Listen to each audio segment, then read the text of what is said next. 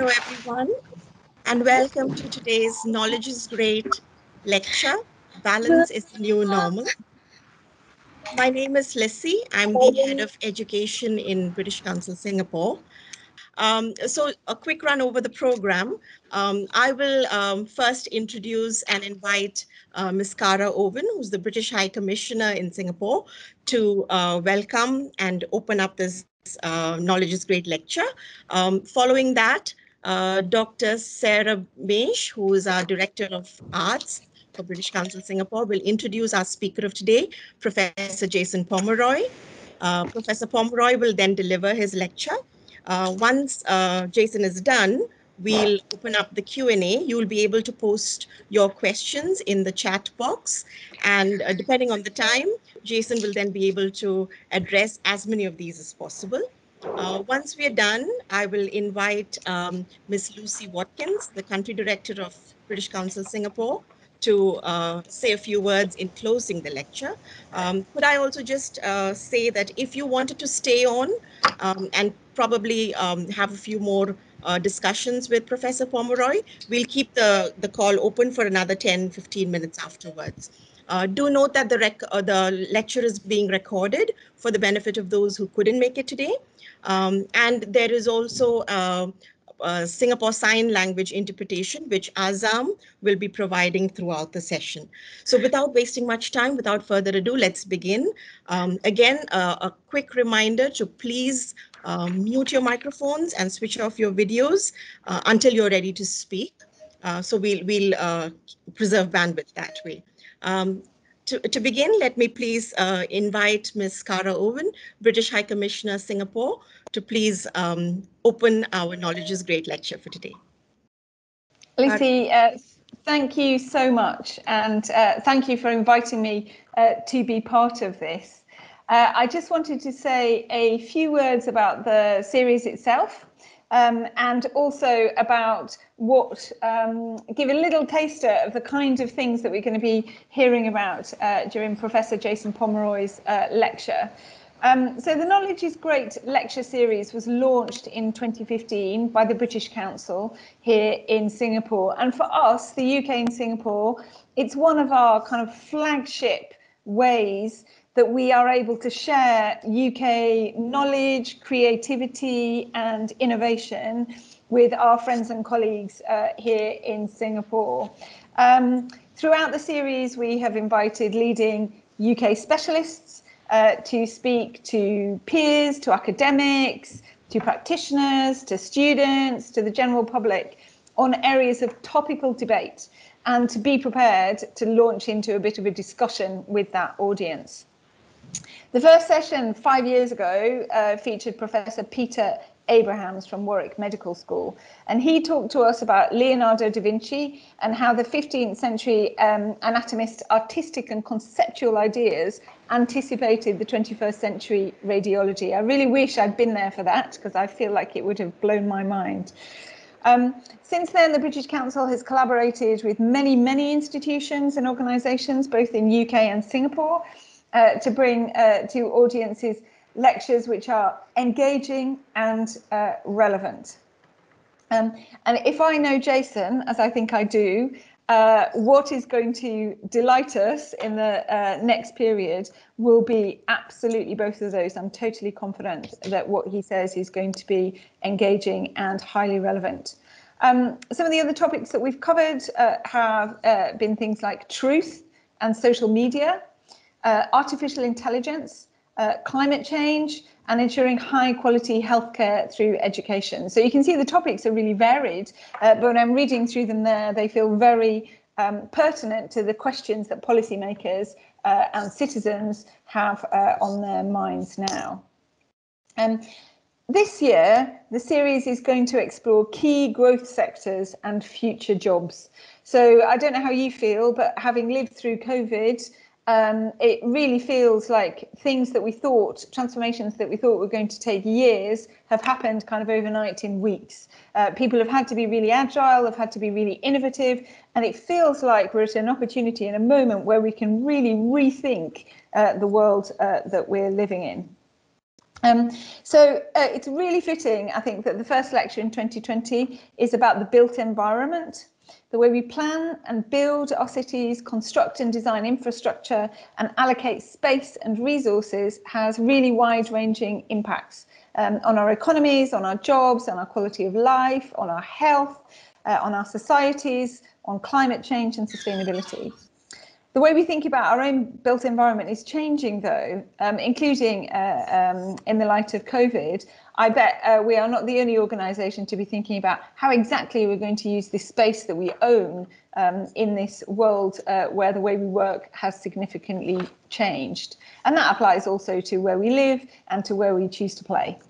Um, so in today's lecture, Balance is the New Normal, Professor Jason Pomeroy will speak about some of the current challenges faced by our urban habitats and the global need for future sustainable built environment thinking.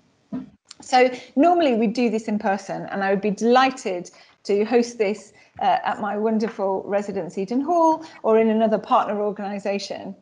Um, but obviously we are working, we can't do that anymore we're working in virtual mode uh, I think that has the benefit of uh, opening up a greater number of people who could be part of the lecture series, both as speakers, but also as uh, audience. And we're really pleased that we've got colleagues uh, from the UK joining the session today. Um, Jason, this has now gone virtual and I can think of no one better to ensure that we are totally engaged through our screens.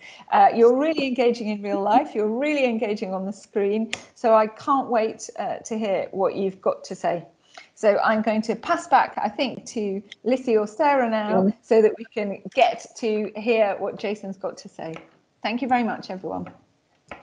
Thank you so much, Your Excellency. Hi, everyone. I'm Sarah. I'm the Director of Arts and Creative Industries at the British Council in Singapore.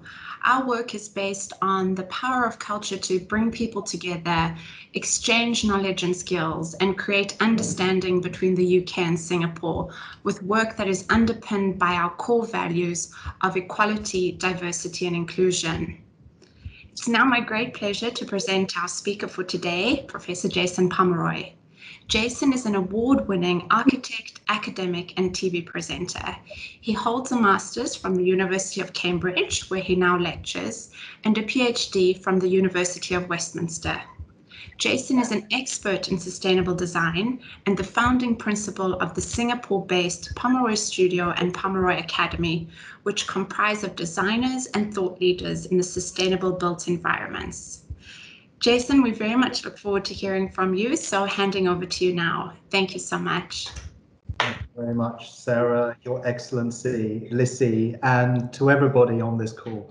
Good afternoon and uh, welcome to a lecture on balance being the new normal, the effects of COVID-19 on the future built environment thinking. Now, cities have been the product of our convergence since time memorial our yearly festivals, our monthly political rallies, our weekly religious sermons, and our daily com commercial transactions. We converge at various times and then we disperse. Now, cities have grown out of this element of convergence of economic prosperity, power, knowledge, and culture, and have attracted and seduced people to migrate to them. As Samuel Johnson said of his city, uh, if you're tired of life, okay. Thank you. So maybe somebody wants to put their microphone on mute.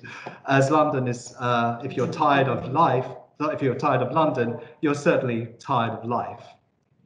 As populations grew and migratory patterns to urban centres continued, cities increasingly became theatres for our time-specific performances and interactions, the street and the square being the stage set for society's actors to converge.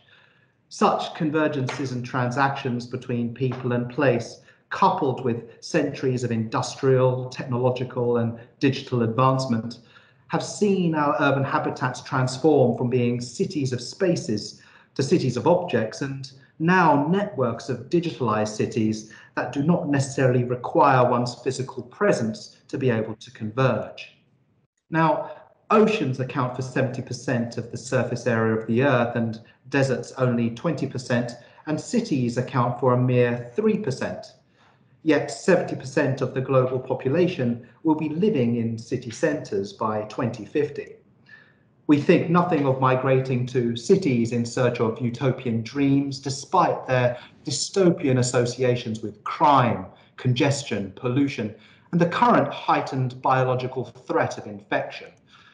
I kind of say current because pandemics, as we have seen throughout history, have come and gone. If time was a metric scale, various pandemics have shown up as millimeters of disruption. So whilst those blips have helped shape socio-spatial and cultural and environmental considerations in our cities, we should be mindful that they have not stopped the march of inner city migration and growth. So I want to see what the effect of those pandemics have been on the built environment.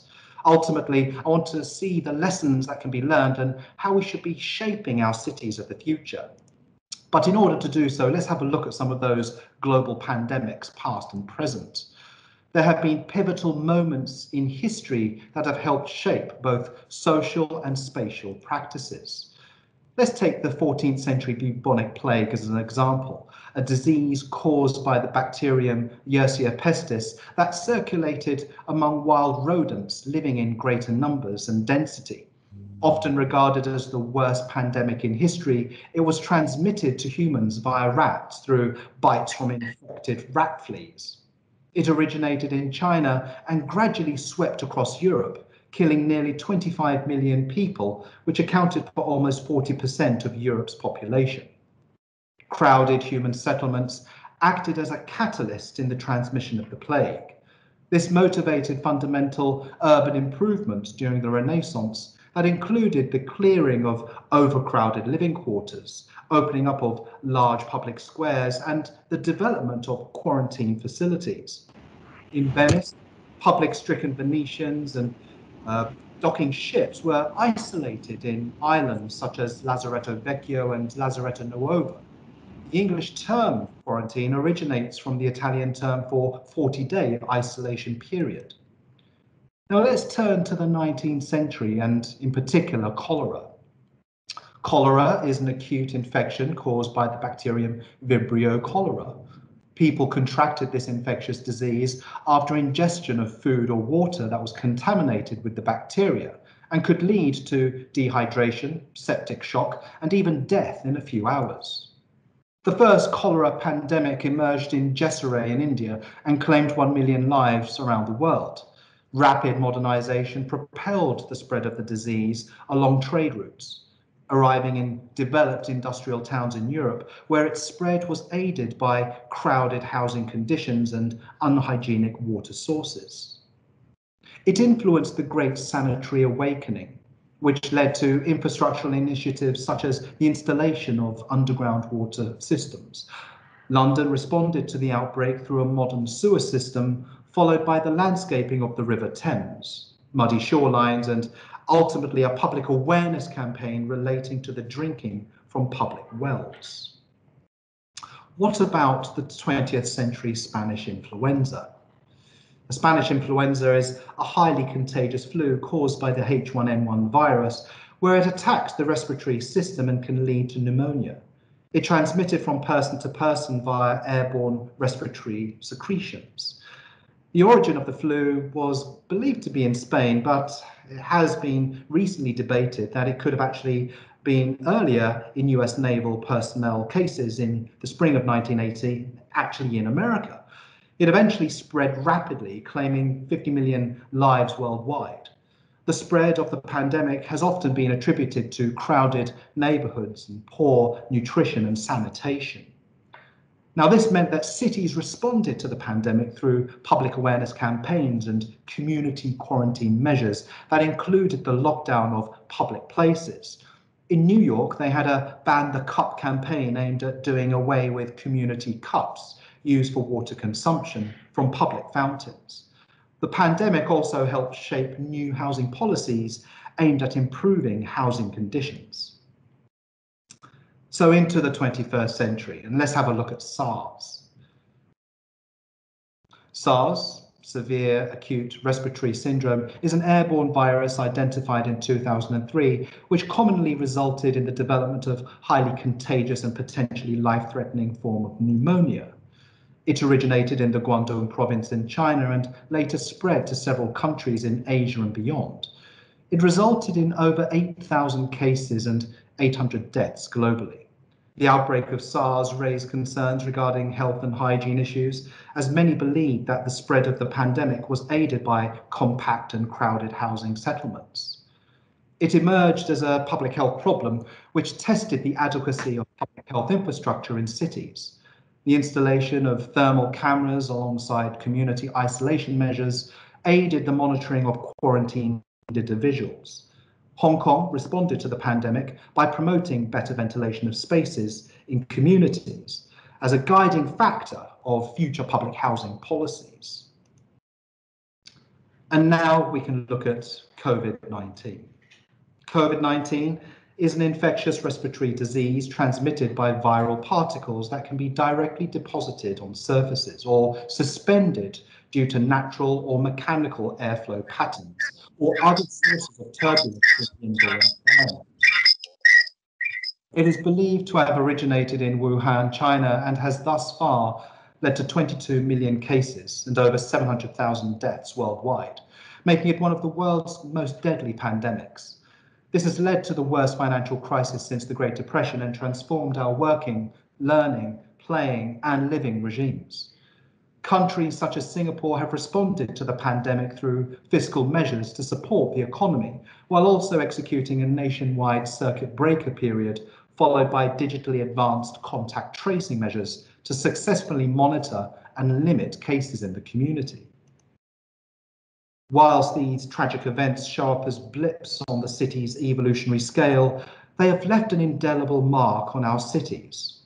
Quarantining, social distancing, face masks, public facility lockdowns, and screening have thus far been the primary means of combating the pandemic, and arguably echoes the very social, cultural, and political mechanisms that were historically used with prior pandemics. COVID has challenged our basic human needs for convergence, physical interaction, and social co-presence, it has forced us to recalibrate our use of space in cities, buildings, and landscapes, and to use technology as a means to converge at in a safe and virtual manner. So, remote working, e-learning, online shopping, and digital cultural offerings from the comfort of your sofa negate the need to be physically out in public and are just some of the methods that we are seeing shape our new lives. So what are the effects on the places we inhabit? Let's start with the workplace. Changes in the workplace that reflected our shift from a manufacturing to digital-based economy, as well as the occupancy, density and productivity conundrum started way before the pandemic. The workplace was increasingly being perceived as either a fluid campus of collaboration a highly tuned box of spatial efficiency, or a repurposed space with good coffee and Wi-Fi. All are united by a belief that being smart can deliver better productivity and enhance revenue of the corporation, group or individual. But with the pandemic, a further factor united these models, and that was the increasingly prophylactic and sanitized experience of the workplace. Thermometers, Hand sanitizers, QR codes and masks serve as a further line of defense before we arrive at our workstations. Despite the sanitized experience, the office lures us back as an employee's comfort blanket of normality and an employer's psychological crutch of productivity. So what can we expect from the new office? Well, maybe more space temporarily, companies wanting employees to return to the office will have to reduce capacity in each floor by between 30 to 50%, given social distancing measures. This has led to concepts such as what you see here in the six foot office. The concept resembles a series of socially distancing circles that are etched into the floor as a conscientious effort of personal space awareness. The workplace, which increasingly proffered the benefits of space to aid the health well-being and productivity of the individual will serve as a beacon for convergence to collaborate. After all, we are still creatures that need social interaction, and the workplace will reassert itself as a place of meeting, especially as the home will continue to be an extension of the workplace. So this brings us to the consequences of accepting the very existence of the Home Office and its relationship to the workplace.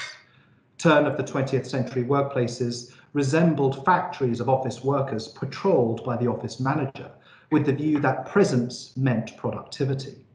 The, effort, the essence of surveillance as a tool to coax the worker had largely remained unchallenged until the pandemic predicament made us homebound and arguably we can still switch on those webcams. Working from home has become part of our digitally enabled future, suiting some roles and personality types more than others. WFH negates the need to travel and can allow for a greater flexibility in one's lifestyle to be more productive.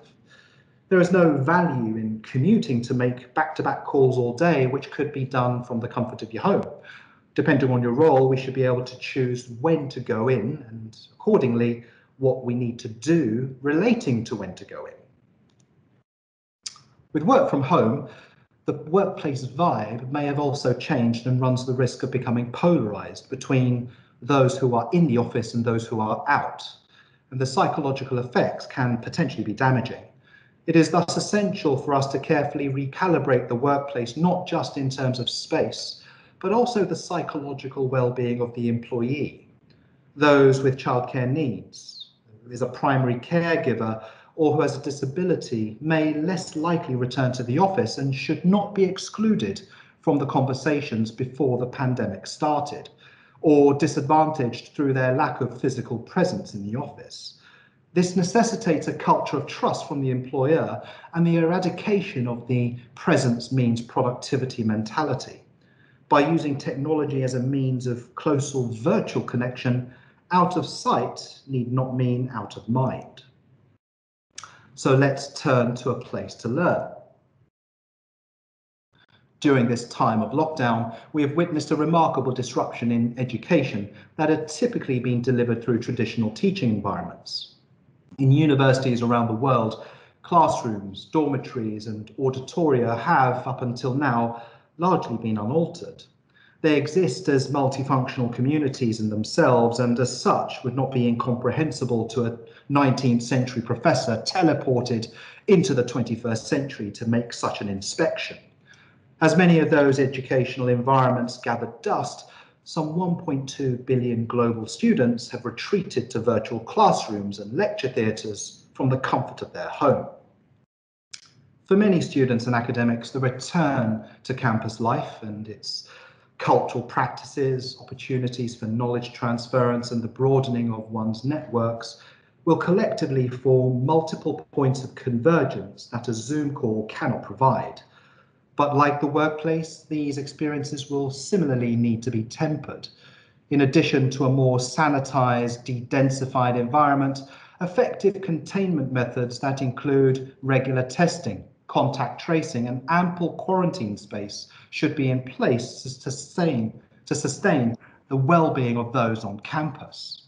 Like the workplace, social distancing measures will prevail, from classrooms to auditoria to dorms as a means of reducing pupil density desks facing in the same direction will reduce transmission from virus containing droplets, but I do question those opportunities to socially engage together in group collaborative efforts and, and team workshops.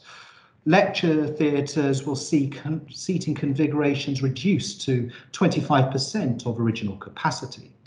And student dormitories are being reconfigured from quads to twins and even single rooms. Finally, universities are setting aside space for quarantine, which will reduce the amount of available on-campus housing, regardless of capacity. But the biggest contribution to the reduction of pupil density comes in the form of 100% online or even blended learning. Even before the pandemic, many universities were embracing a blend of institution-based and home-based learning and a curricula conceived as a kit of parts delivered in a far more time flexible manner. Having a combination of online and in-person teaching can reduce the costs of running a full capacity education campus and can make the education arena more economically accessible for all. According to a World Bank report from 2010, only one in 20 people have completed tertiary level education. By being able to stay at home, there is a heightened flexibility for those students wishing to continue being gainfully employed. This makes education potentially more affordable and equitable. For, for your prospective students, the benefits go beyond accessibility and affordability. Uh, blended learning in the future may become a necessity. Average life expectancy has increased from 65 30 years ago to about 72 years today arguably the lifelong job and token gold watch upon retirement is becoming an obsolete model, and there is the increasing prospect of people having more than one career in their lifetime. This would warrant further education.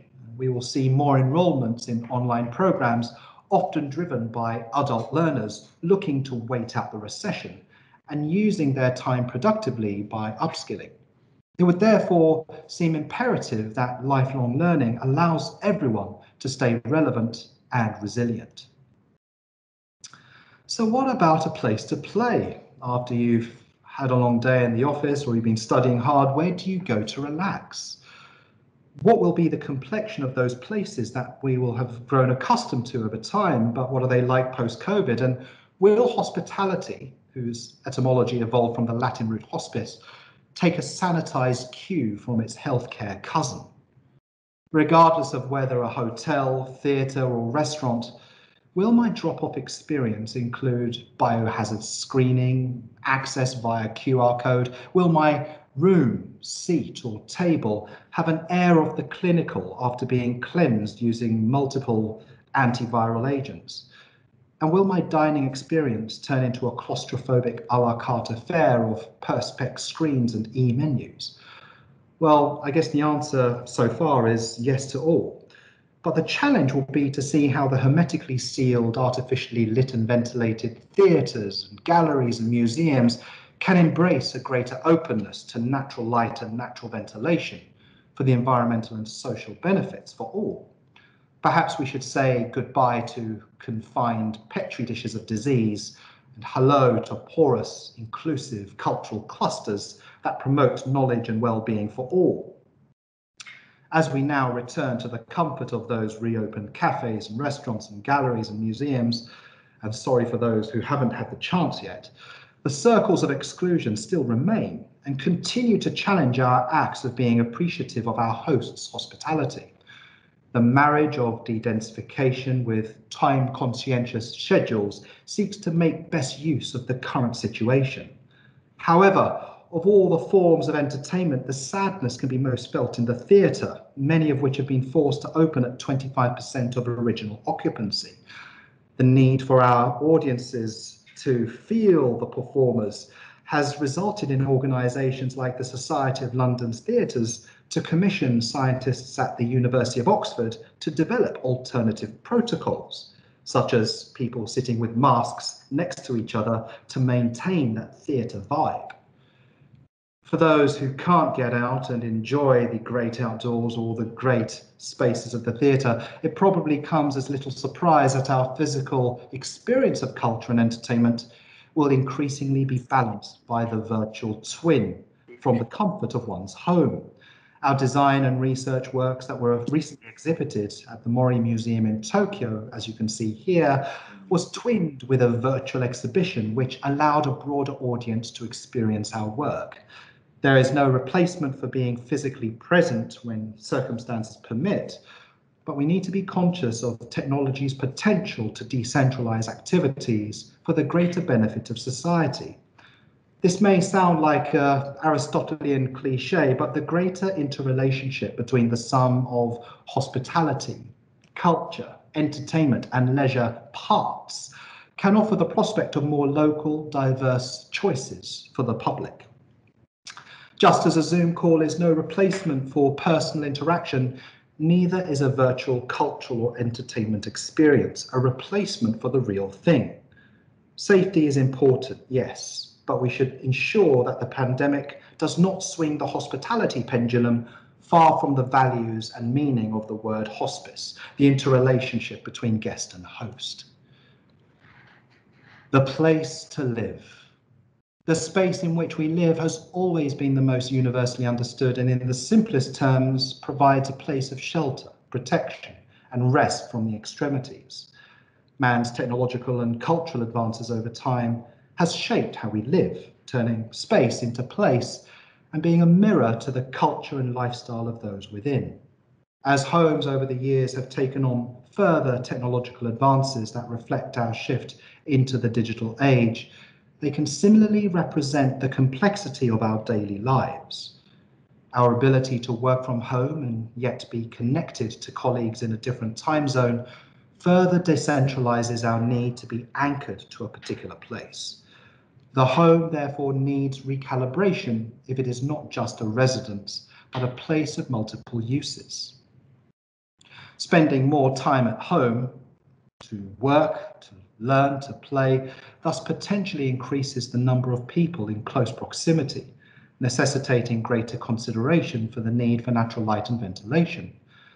Florence Nightingale's revolutionary hospital wards helped combat the spread of infectious disease by acknowledging that the exposure to outdoor air and sunlight played a critical role in diluting and dispersing infectious agents and greatly reducing the chance of their survival further.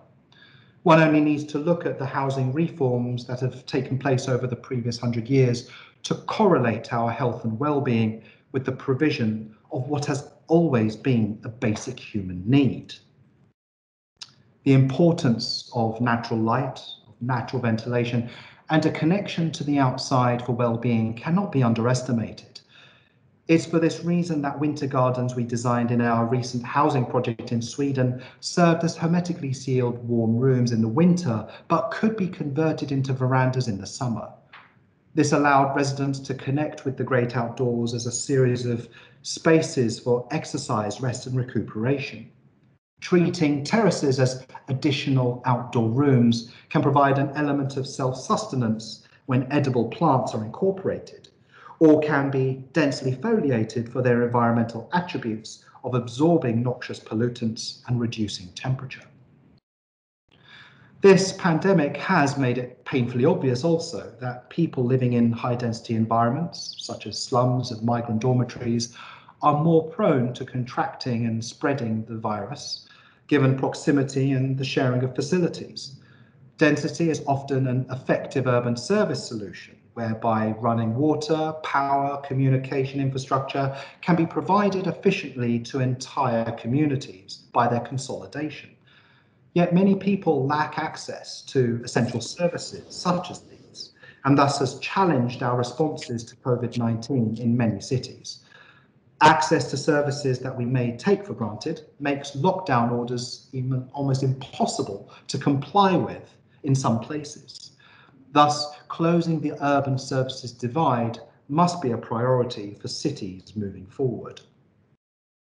The digital age that allows us to work, learn and play from the comfort of our increasingly spatially constrained homes has thus resulted in many capsule concepts. They seek to address spatial, economic and now viral pressures. Our various time-sensitive activities that may have been dispersed through the course of the day within our chosen city can be now programmed into singular, flexible and adaptable spaces within. This further reduces the need for multiple rooms of multiple functions.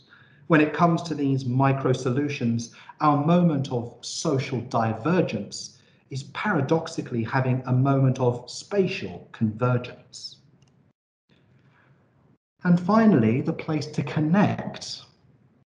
For centuries, our streets and squares have allowed people to connect and generate a sense of belonging with the part of the city that they're in. Urbanity refers to the public life that happens as a result of these exchanges that a city can enable.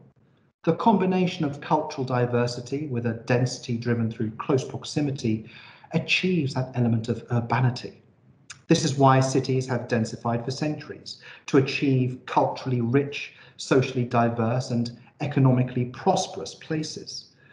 But the pandemic has recently altered urban life and the recent advocacy for de-densification and, de and decentralization challenges the concept of urbanity.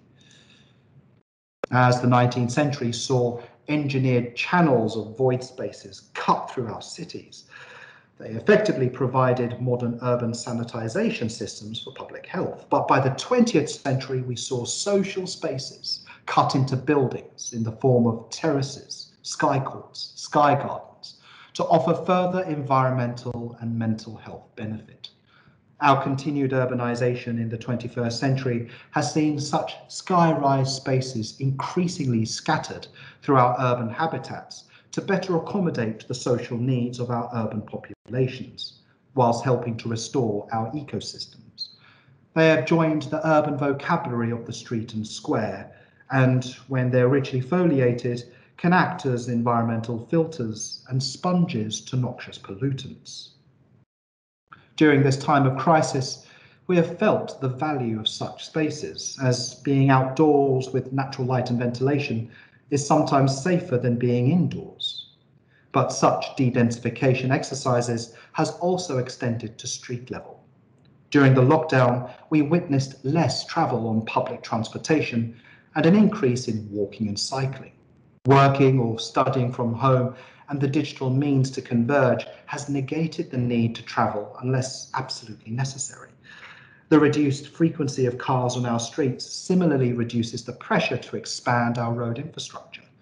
This offers the prospect of cleaner, car-free streets that can emphasize active personal mobility and integrate with public transportation. This in turn helps reclaim congested streets for the people. As we grow accustomed to the notion that we do not need to go to the office or campus on a daily basis, the ability to decentralize or effectively look at our developments in a more self-sustaining way has become the new normal. During the period of lockdown, we have felt the cascading economic effect of the crisis, which impacted supply and production chains and had a ripple effect on the national and global economy the creation of more resilient, self-sustaining, yet connected communities will become a reality. Places like Higashi Matsushima, disaster responsive eco-town, as you see here, can manage their own clean energy generation, food production, waste and water systems. And they should not only manage waves of further outbreak, but also be resilient to climate change related disaster too.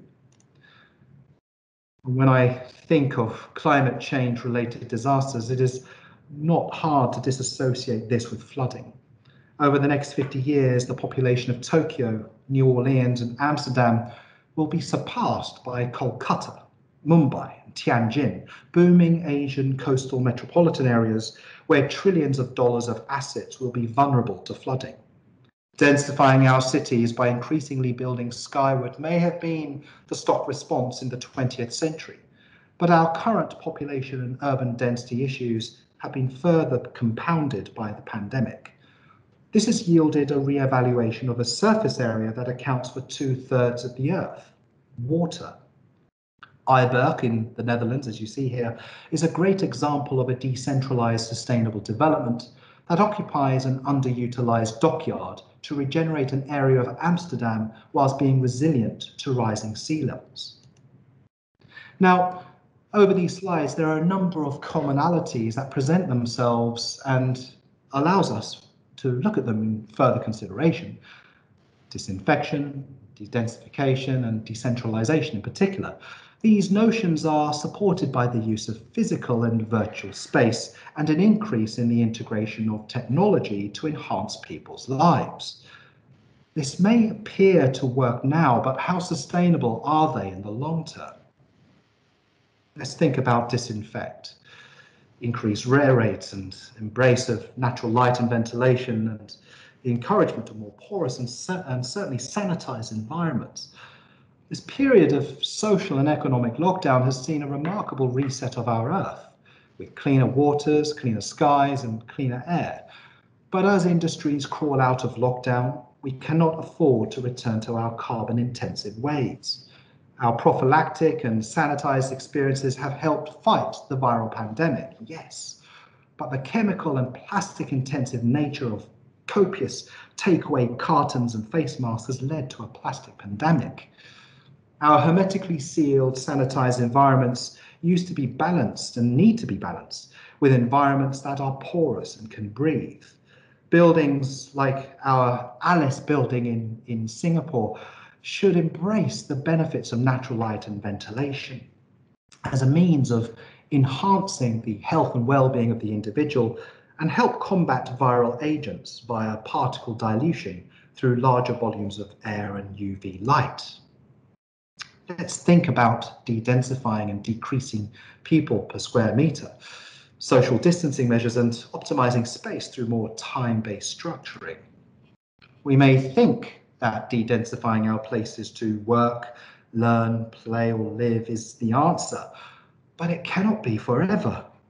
Cost of real estate in city centres and their efficiencies to optimise return on investment have become so finely tuned that having lesser people in such places may make developments unaffordable. We should balance the short-term need for less dense spaces and places with long-term realities of population increase and continued inner city migration post-pandemic meaning a phased return of people to city centres over time. We will need to recalibrate the street and give precedence to the pedestrian and cyclist over the automobile, and thus reclaim streets for the people, not too dissimilar to what we're doing here in Singapore at the Kallang Alive Master Plan, an 89 hectare sports, recreation and leisure orientated place that would allow people to explore the great outdoors again. And whilst this period has seen the decline in the use of public transportation, given fears of infection spreading through enclosed proximity, we should not lose sight of how public transportation in the long term can maintain our drive towards a car light, cleaner, greener built environment. And finally, decentralizing, applying technology to augment social practices and allow for remote working, learning and playing, and including alternative social spaces. We may think decentralizing is the natural step to avoid social convergence through the acceptance of working from home, e-learning, e-commerce, e-culture, e-entertainment. But this potentially undermines the gains made by creating compact, connected urban developments that have optimized public infrastructure and helped economic growth through our need to converge in physical space. We need to balance decentralizing our daily routine through technology with policies that maintain the importance of having dense urban centres that provide a means of convergence and co-presence. Decentralisation may also come in the form of looking at alternative forms of urbanism and underutilized sites that are ripe for regeneration, like our explorations in waterborne communities, as you can see here. This could allow for new self-sustaining and resilient communities that reduce the stresses and strains on inner city life, but are still part of the city. So, if there is a silver lining, it may be the case of a more smart and sustainable built environment that requires a re-evaluation of the triple bottom line.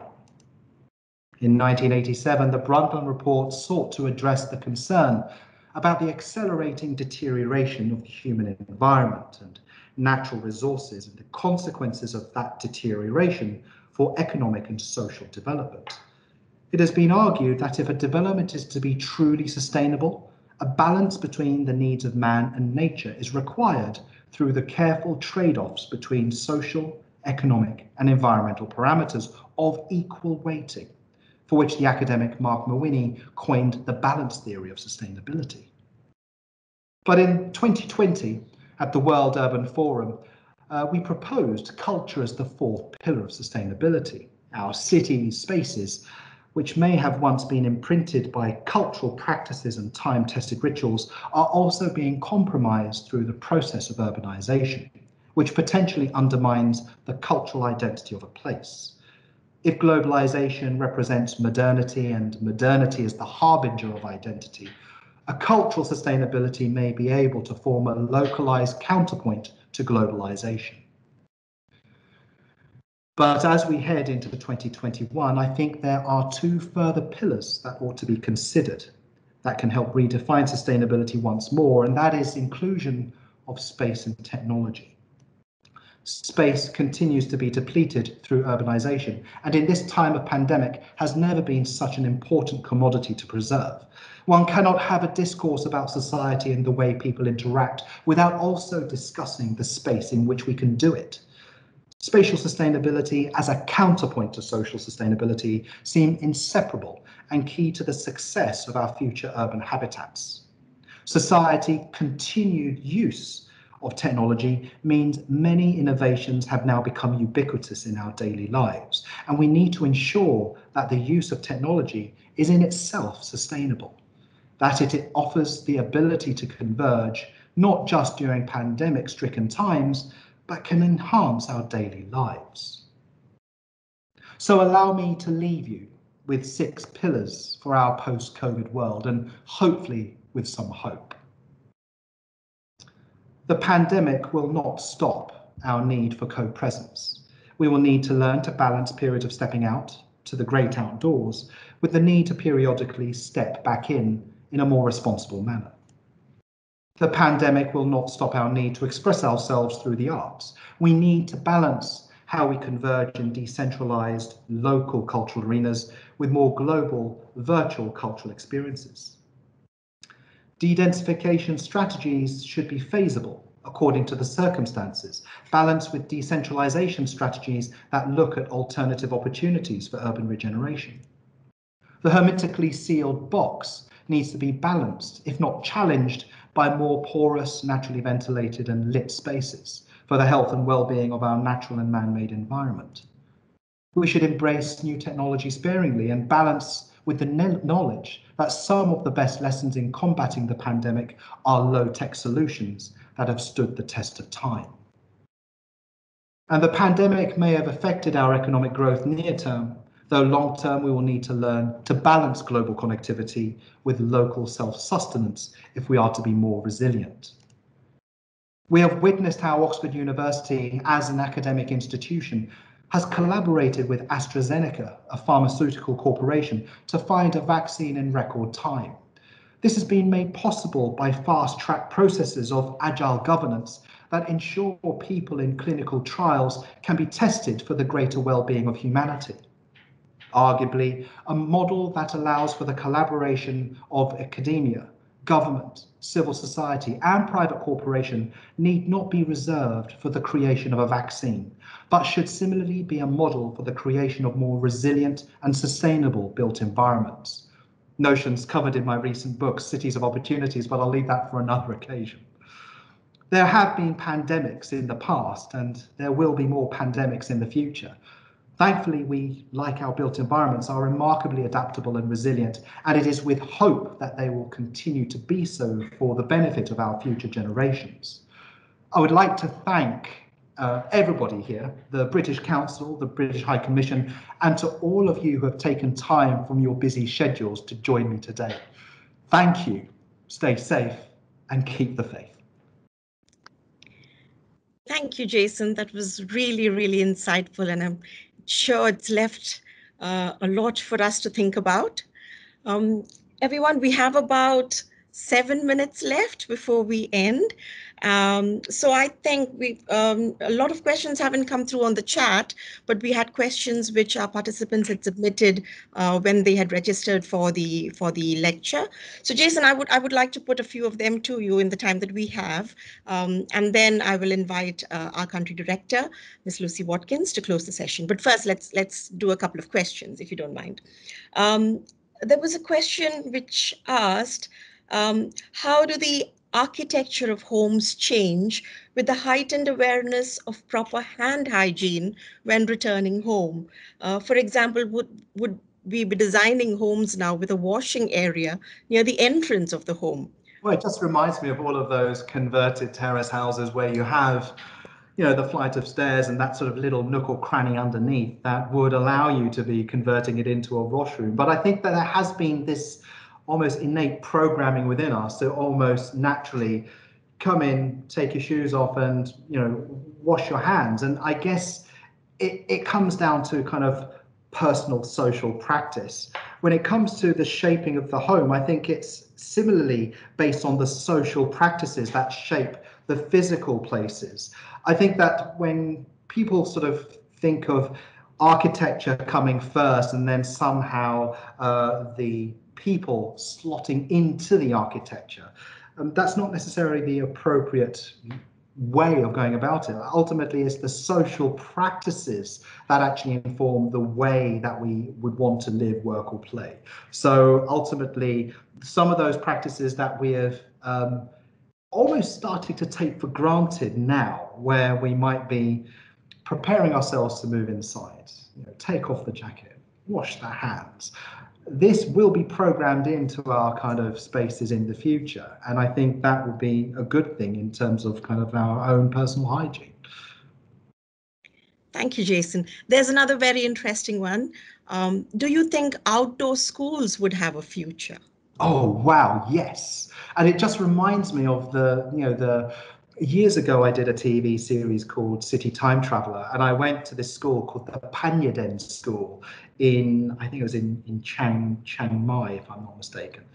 And um, what I found fascinating is that there were these beautiful outdoor classrooms that were constructed out of um, low walls of adobe and and and, ba- and bamboo roofs. So a real element of design with nature. I guess it comes down to the climate that you're in. And if there is the prospect of, you know, a form that matches the climate and the ability to in the tropics teach on the outside, as we see in the Panyaden School in Chiang Mai or the Balinese Green School, then why not? I think I'd just get a bit worried if it was in Sweden, if, if I was to be perfectly honest. That might be a bit too cold for me. Thank you, Jason. Um, could I could I just uh, take the time to ask another question as well?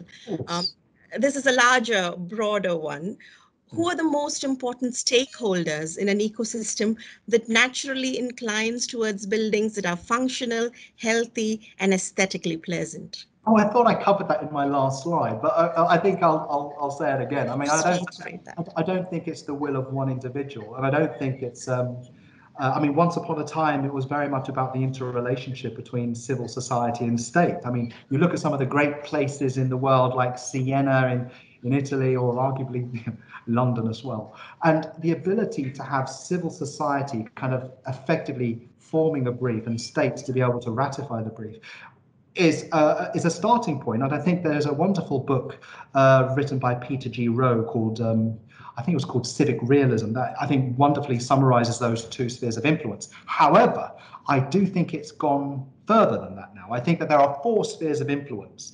You've got civil society, which is effectively setting the brief, uh, people saying what they want out of their places to live, work, play, and learn. You then have state to be able to ratify, but the ability to engage with academia to test new ideas, and also private corporations who are willing to invest in R&D to be able to make those spaces better and and enhance our lives, our, our daily lives. I think those four spheres of influence are the key stakeholders to actually make more sustainable places. Thank you, Jason. We'll just take one last one uh, before we, we close the session. Uh, there was a question that is posted on the chat by Michael, and he wanted to ask if uh, you could comment on the current trends in energy efficiency technologies now that the demand for commercial building innovation has dropped drastically as more people are working from home? Well, I mean, I think that it's a snapshot in time, and what we have seen is, you know, cleaner skies, uh, cleaner uh, waterways. We've we've seen kind of lots of noxious pollutants being taken off the street, and ultimately we'll want to try and ensure that that sort of is maintained what I'll be very keen to see is how we can be shifting from the 86 million barrels of oil that are consumed on a daily basis, which is equivalent to filling five pyramids of Giza, to be maintaining our kind of more lower kind of carbon footprint ways that we've kind of experienced with kind of the halting of uh, a lot of uh, broader infrastructure.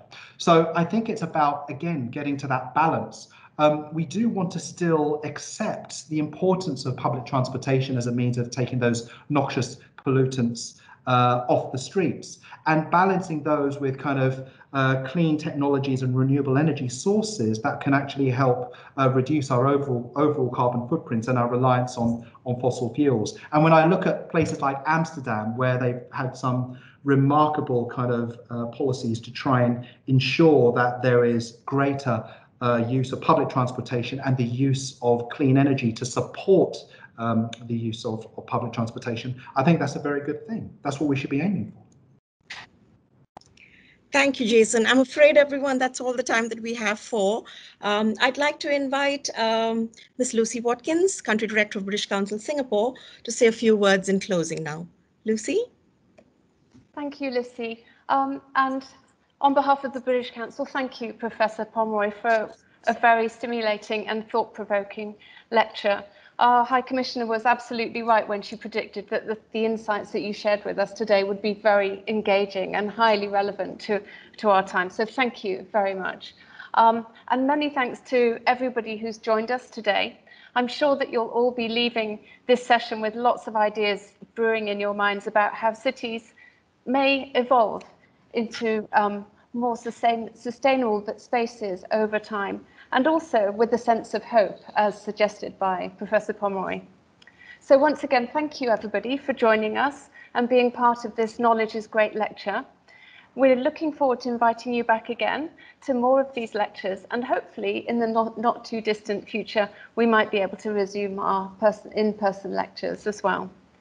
And just a final reminder that if you if you still have any urgent questions that you'd like to ask Professor Pomeroy, then please do feel free to remain on the call for a few more minutes. As Lissy said, we'll keep the call open for 10 to 15 minutes so that you can um, ask any questions that you have. Um, and then for me, all I all that I, I, need now to say is to wish you all a very good day, a very good evening, wherever you wherever you are. Thank you very much. Hi, can I ask a question? Hi. Hi, hi. Um, how how can we include, let's say, the disadvantaged or or, or the uh, the uh, the poor in, in the design of our of our cities so that they can be taken care of uh, instead of like uh, perhaps you know you have got um, enclaves and you know in the past and and, and where you know where the poor lives and then and, and the rich somewhere else versus and, and now how can we make a different society through architecture? That's a lovely question. Who, who was that? Can you just say your name? And uh, that was a very good question. Thank you. Welcome. Hi uh, my name is kim ong uh, singapore. And um, well i run social enterprises and and uh, it comes from, uh, the question comes from there Lovely, lovely. Well, thank you very, very much for that question. I mean, um, what we have seen throughout history, um, and in particular, let's just take, for instance, the 19th century, with those huge slum clearance programs, which try to bring sort of uh, greater public sanitation to you know a greater mass of people, running water, electricity. I mean, ultimately, what I find remarkable is that whilst we kind of currently think that electricity and running water is kind of the norm. In so many places, it isn't. It's still something that is um, not necessarily a given, it's something that is really still quite sought after. Years ago, I was filming in a place um, in India where we were talking about smart cities. And what was remarkable is that we have the politicians who are basically saying, well, with the 100 smart city movement, we're going to have all of these smart cities, and it's all about big technology, effectively fostering new economies. And uh, their view of a smart city was all about the tech and all about the economy. And then when we went to the people uh, in the informal settlements, we said, well, what is a smart city? And they basically said, well, of course, it's running water, sanitation, electricity. And ultimately, I think it's about trying to bridge the divide there. Uh, I think that we have somehow lost our way. There are still needs for governments to try and ensure that we can get support. Um, and it's again back to those those four, four spheres of influence: civil society, state, private corporation and academia working collectively together to ensure that running water, electricity and sanitation is there for the good of all. And I do think that, yeah, we cannot possibly be creating these new um, social housing schemes that are just pushed to the peripheries of cities. There does need to be a far greater integration. And arguably, when you think about the, the MRT system in Singapore, and arguably the London Underground system uh, in, in London. These were wonderful ways of actually connecting um, suburban places with the city centre. And I think that it is all about the infrastructure. As long as the infrastructure is in place to give you good mobility, sanitation, electricity, water, and obviously nowadays IT as well. These are some of the ways that we can start unlocking the value for those who do not necessarily have the chance that sometimes we can just take for granted. So I hope that uh, answers your question, Kim. Thank you very much. That was, that was great. Are there any other questions? How much knowledge do we have in terms of the management of water? Because, I mean, even in Singapore, I think there are more roads than cars. The number of uh, land for the roads is much more than the land for the trees. And then we push the bicycles off because we need big roads. So the bicycles have to share the space with the cars. Mm. I mean, in the end, you get a very hot country. Thank you for the question. And when I think about uh, what you were mentioning, there, there, are several points there. There's one relating to cars, streets, also greenery. Um, one one successful model that I would say, other than Singapore, because I think Singapore's embrace of urban greenery as a means of reducing ambient temperatures, absorbing noxious pollutants, as well as the embrace of public transportation and quite an effective MRT system, and ultimately various policies to try and take uh, cars off the street.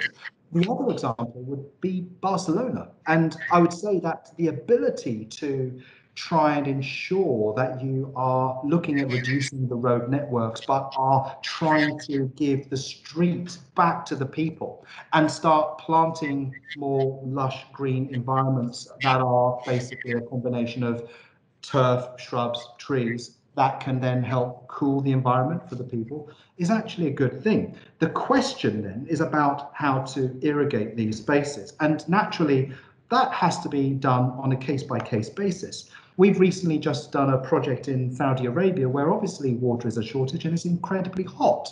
So it's about using those particular species that are acceptable and also looking at some of the technologies from the past. For instance, small rocks that can be applied to rooftops that capture volumes of air that can then be used as a cooling blanket, which then helps cool the floor below and hopefully reduce the reliance on the air conditioning.